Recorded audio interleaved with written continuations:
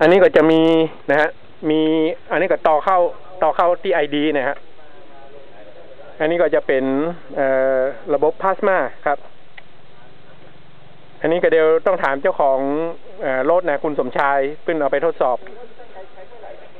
เอ่อพอดีเพิ่นอู้โทรศัพท์อยู่นะฮะเห็นสักกรรมนะฮะเห็นสักกรรมก็เลยถามว่าประหยัดได้สักเท่าใดนะครับฮะฮะเพิ่งไปกรุงเทพมาครับ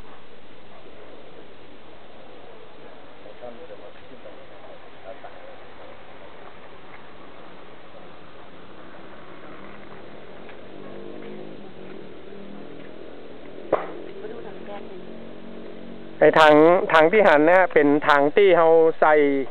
เอ่อใส่น้ำมันเออไม่ใช่ใส่น้ำมันใส่แอลกอฮอล์